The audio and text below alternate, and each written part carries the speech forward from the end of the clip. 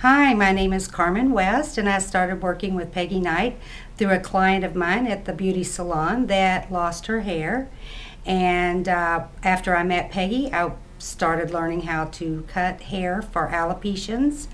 And uh, I've been with her for over 10 years. And then in the hair cutting industry, as far as the hair cutting with the prosthetics, probably close to 20 years. Uh, it is such a fulfilling job. I, it doesn't even seem like a job. It seems like I want to give you the opportunity of never getting the look of people not knowing that you have a hairpiece on.